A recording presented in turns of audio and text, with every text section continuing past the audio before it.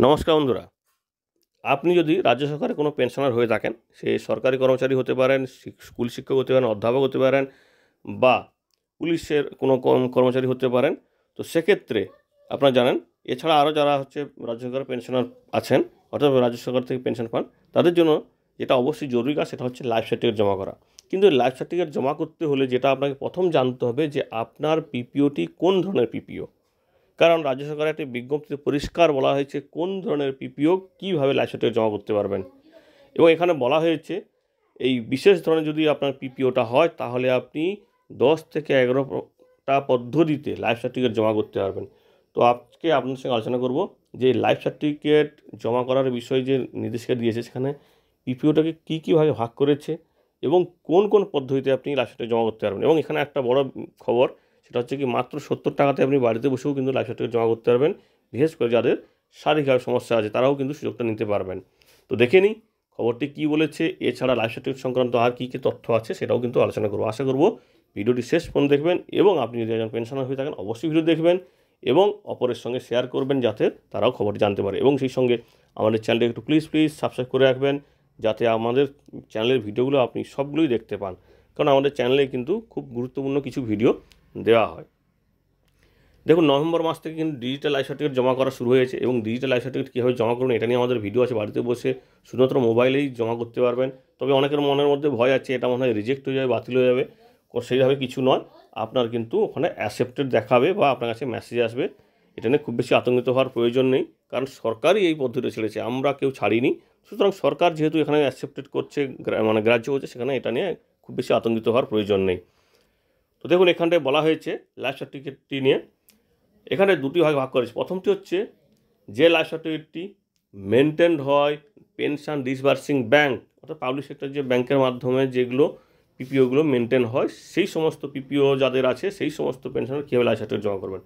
প্রথমত হচ্ছে, আঙুলের ছাপ দিয়ে জীবন প্রমাণ পোর্টালে, যেটা অনেক দিন ধরেই আছে দু হাজার চোদ্দ সাল থেকে কিন্তু চালু আছে, তো সেই জীবন প্রমাণ অ্যাপের মাধ্যমে আপনি লাইফ সার্টিফিকেট জমা করতে পারবেন এবং তার জন্য অবশ্যই আপনার আধার নাম্বার, ওই পেনশন ডিসবার্সিং ব্যাংক অর্থাৎ যে ব্যাংকে আপনার পেনশন অ্যাকাউন্টটি আছে, সেখানে আপনাকে লিঙ্ক করে রাখতে হবে। অর্থাৎ যাদের পেনশন অ্যাকাউন্টটি মানে সরি পিপিওটি ওই ব্যাংকের মাধ্যমে নিয়ন্ত্রণ হয়, তাদের কিন্তু এইভাবে করতে হবে। এছাড়া আর কী কী পদ্ধতি আছে দেখে নিই। এছাড়া আছে, আপনি হচ্ছে বায়োমেট্রিকের মাধ্যমে থাম যে স্ক্যানিং বাড়িতে বসে আপনি এই অ্যাপটা ডাউনলোড করে করতে পারেন, তবে তার জন্য আপনাকে একটা ডিভাইস রাখতে হবে। এছাড়া পেনশন ডিসবার্সিং যে ব্যাঙ্ক আছে, সেখানটায় গিয়েও আপনি অনলাইনে লাইফ সার্টিফিকেট জমা করতে পারবেন ডিজিটালি এছাড়া কমন সার্ভিস সেন্টার যেটা আছে, যেটা জানেন সিএসপি যেটাকে বলা হয় সিএসসি সেন্টার যেটা বলা হয় সেখানটা গিয়েও আপনি লাইফ সার্টিফিকেট জমা করতে পারবেন। এছাড়া ইন্ডিয়া পোস্ট পেমেন্ট ব্যাংকের মাধ্যমেও লাইফ সার্টিফিকেট জমা করতে পারেন বাড়িতে বসে এবং সেটা অবশ্যই অনলাইনে আপনি যদি ইন্ডিয়া পোস্ট পেমেন্ট ব্যাঙ্কের অর্থাৎ পোস্ট অফিসে যদি চলে যান, সেখানটাও গিয়েও কিন্তু সার্টিফিকেট জমা করতে পারবেন। আর ইন্ডিয়া পোস্ট পেমেন্ট ব্যাংকের মাধ্যমে যদি বাড়িতে বসে করতে চান সার্টিফিকেট সেটা হচ্ছে সত্তর টাকা খরচ হবে। এবং এটা নিয়ে কিন্তু আমাদের একটা ভিডিও আছে, তাই আমরা এখানে বিশেষ ব্যাখ্যায় যাচ্ছি না। এটা গেল ডিজিটালি এবার দেখে নিই যদি অফলাইনে করতে চায়, তো সেক্ষেত্রে তার জন্য কী নিয়ম আছে? দেখুন অফলাইনে যারা করতে চাইবে, তাদের জন্য আছে, তারা অবশ্যই একটা লাইফ সার্টিফিকেট ফর্ম ডাউনলোড করবে, অথবা ব্যাংকে গেলেও কিন্তু লাইফ সার্টিফিকেটটা আপনার পেয়ে যাবেন, ওখানে একটা ফর্ম দেবে। আপনাকে তার জন্য পাস বইটা নিয়ে যেতে হবে। দেখুন, এখানে বলা হয়েছে যে যেগুলো অফলাইনে হবে, সেটা হচ্ছে কীরকম হবে। দেখুন, আপ- আপনি অবশ্যই যদি আপনার পিপিওটা পেনশন ডিসবার্সিং ব্যাংকের মাধ্যমে থাকে, অর্থাৎ ব্যাংকে যদি আপনার পিপিওটা নিয়ন্ত্রণ হয়, তাহলে আপনি সরাসরি ব্যাংকে গিয়েও কিন্তু অফলাইনে লাইফ সার্টিফিকেট জমা করতে পারবেন কাউন্টারে দিতে পারেন অথবা ড্রপ বক্সে দিতে পারেন। এবং এখানে বলা হয়েছে এছাড়া যাদের সমস্যা আছে শারীরিকভাবে সমস্যা আছে, তারা কিন্তু কোনো মেসেঞ্জারের মাধ্যমে, অর্থাৎ একজন বাহকের মাধ্যমেও লাইফ সার্টিফিকেটটি জমা করতে পারবে ব্যাংকে পৌঁছে দিয়ে। এবার দেখে নিই, যাদের পিপিওটি অর্থাৎ দু রকমের পিপিওর কথা বলা হয়েছে, যাদের পিপিওটি কোনো ট্রেজারি বা পেনশন ডিসবার্সিং সেল কলকাতার মাধ্যমে নিয়ন্ত্রিত হয়, তাদের কী কী পদ্ধতি আছে?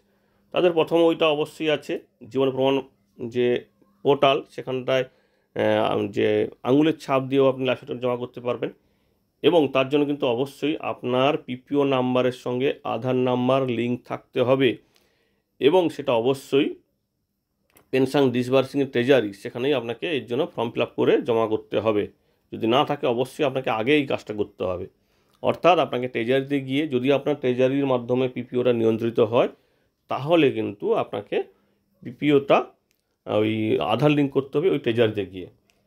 এটা গেল অনলাইনে যদি আপনি করতে চান, এই জীবন প্রমাণ ওটা পোর্টালের মাধ্যমে আঙুলের ছাপ দিয়ে। এছাড়া, দেখুন এখানটা আর ডিজিটালি কীভাবে লাইফ সার্টিফিকেট জমা করতে পারবেন এবং অবশ্যই আপনি এই অ্যাপটি বাড়িতে বসে ডাউনলোড করে করতে পারবেন এবং পেনশন ডিসবার্সিং ব্যাংকে গিয়ে করতে পারবেন। আপনার যদি পিপিওটি ট্রেজারির মাধ্যমে নিয়ন্ত্রিত হয়, তাতেও কিন্তু আপনি পেনশন ডিসবার্সিং যে ব্যাঙ্ক অর্থাৎ যে ব্যাঙ্কে আপনার পেনশন সেখানে গিয়েও আপনি জমা করতে পারবেন। নিয়ারেস্ট ট্রেজারি ট্রেজারিতে যেহেতু আপনার পিপিও থাকে, সুতরাং ট্রেজারিতে গিয়েও কিন্তু সুবিধা পাবেন। তবে এখানে একটা বিষয় মনে রাখবেন, আপনার পিপিও যদি ব্যাংকের মাধ্যমে নিতে হয়, তাহলে কিন্তু আপনি ট্রেজারিতে গিয়ে সার্টিফিকেট জমা করতে পারবেন না। এছাড়া কমন সার্ভিস সেন্টার সিএসসি সেন্টারে গিয়েও আপনি করতে পারবেন কাজটা। ইন্ডিয়া পোস্ট পেমেন্ট ব্যাংকের মাধ্যমে আপনি বাড়িতে বসে করতে পারেন অথবা ওদের সেন্টারে গিয়ে করতে পারেন, যেটা আমরা একটু আগে বললাম, সত্তর টাকা লাগবে বাড়িতে বসে করতে গেলে। এছাড়া অফলাইনে যে বিষয়টা বলা হয়েছে, আপনি পেনশন ডিসবার্সিং যে ট্রেজারি থাকে, আপনার যেখানে ট্রেজারিতে হয়, সেখান থেকে গিয়েও আপনি লাইফ সার্টিফিকেট জমা করতে পারবেন। বা তাদের ড্রপ বক্সে ফেলতে পারবেন এবং সেই সঙ্গে পেনশন ডিসবার্সিং যে ব্যাঙ্ক আছে, সেখানটাও আপনি কাউন্টারে গিয়ে অথবা ড্রপ বক্সে গিয়ে ফেলতে পারেন। এছাড়া যারা অসুস্থ আছেন, তারা তাদের মেসেঞ্জার বা বার্তাবাহকের মাধ্যমে সার্টিফিকেট জমা করতে পারবেন। এই গেল মোটামুটি পদ্ধতি। এছাড়া যেগুলো পদ্ধতিগুলো আছে, সেটা হচ্ছে ডোর স্টেপ ব্যাঙ্কিং বিভিন্ন ব্যাংকের পক্ষ থেকে কিন্তু ডোর স্টেপ ব্যাঙ্কিংয়ের সুবিধা দেওয়া হয়। যেটা বাড়িতে বসে কিন্তু আপনি সার্টিফিকেট জমা করতে পারেন ব্যাংকের মাধ্যমে। তার জন্য বিভিন্ন ব্যাংকের বিভিন্ন ধরনের চার্জ থাকে, সেটা আপনি আপনার ব্যাংকে জানতে পারবেন। এটা নিয়ে আমাদের একটা পুরোনো ভিডিও আছে, চাইলে দেখে নিতে পারেন। এছাড়া আর একটা পদ্ধতি আছে, সেটা হচ্ছে কি, আধার ফেস আর ডি শুধুমাত্র মুখের ছবি দিয়ে আপনি এই লাইফ সার্টিফিকেট জমা করতে পারবেন, এবং কোথাও না গিয়ে পুরো সম্পূর্ণ বিনা খরচে, শুধুমাত্র মোবাইলে একটা ছবি তুলে। কারণ এখানটায় অন্য কোনো ডিভাইসেরও প্রয়োজন হচ্ছে না, শুধুমাত্র নেট কানেকশানের প্রয়োজন, এবং মোবাইল নাম্বারটা প্রয়োজন, এবং মোবাইল নাম্বারটা যেন, এবং আধার নাম্বারটা যেন আপনার পিপিও বা অ্যাকাউন্টের সঙ্গে লিঙ্ক থাকে। তাহলে কিন্তু কাজটা হবে এবং এটা কীভাবে করবেন এটা নিয়ে কিন্তু আমাদের ভিডিও আছে। চাইলে দেখে নিতে পারেন। এই হচ্ছে লাইফ সার্টিফিকেট বা জীবন প্রমাণ সংক্রান্ত কয়েকটি গুরুত্বপূর্ণ খবর। এখানে আর একটি বিষয়, যদি আপনি মানে পেনশনার হয়ে থাকেন মানে বা বাড়ির যদি অন্য কেউ হয়ে থাকেন, তাহলে অবশ্যই বিষয়টি গুরুত্ব দিয়ে দেখবেন যে বেশি দিন কিন্তু সময় দেওয়া হবে না। পেনশন কোনো কারণে যদি এই পিপিওটি জমা মানে লাইফ সার্টিফিকেট জমা করতে ভুলে যান, তাহলে কিন্তু পেনশন বন্ধ হয়ে যাবে। এই বিষয়টি অবশ্যই খেয়াল রেখে কিন্তু কাজগুলো করবেন। এবং সেই সঙ্গে লাইফ সার্টিফিকেট জমা করার পরে অবশ্যই স্ট্যাটাস সবসময় চেক করবেন। কোনো কারণে যদি রিজেক্ট হয়ে যায় তাহলে আপনাকে সঙ্গে সঙ্গে আপনার পেনশন ডিসবার্সিং ব্যাংক অথবা ট্রেজারিতে যোগাযোগ করতে হবে। না হলে কিন্তু আপনি জানতেই পারলেন না, পরবর্তীতে দেখা হলো আপনার পেনশন বন্ধ হয়েছে। তাই এই রিস্কটা নেবেন না লাইফ সার্টিফিকেট জমা দেওয়ার পরেও কিন্তু আপনি খোঁজখবর নেবেন। আর যারা অফলাইনে ব্যাংকে গিয়ে জমা করছেন, তিনারাও কিন্তু খোঁজখবর করবেন। কারণ আগের বছর অনেকের কিন্তু এইরকম ব্যাংকের মাধ্যমে, অবহেলার মাধ্যমে লাইফ সার্টিফিকেট জমা পড়েনি এবং তারা কিন্তু আর্থিকভাবে বিভিন্ন সমস্যায় পড়েছে, তাই এই বিষয়গুলো খেয়াল রাখবেন এবং সেই সঙ্গে অবশ্যই লাইফ সার্টিফিকেট জমা দেওয়ার নামে কোনো কিন্তু লিঙ্কে ক্লিক করবেন না, তাতে আপনার সমস্ত কিছু মানে নিঃস্ব হয়ে যেতে পারেন, টাকা পয়সা সব কিছু তাই অবশ্যই বিষয়গুলো খেয়াল রাখবেন এবং life certificate digital life certificate সংক্রান্ত বা অফলাইন লাইফ সার্টিফিকেট সংক্রান্ত সমস্ত ধরনের ভিডিও আমাদের চ্যানেলে আছে। যদি ভিডিওগুলো দেখেন, মোটামুটি কারুর হেল্প প্রয়োজন হবে না। সবাই সুস্থ থাকবেন, খুশি থাকবেন, সজাগ থাকবেন। ধন্যবাদ।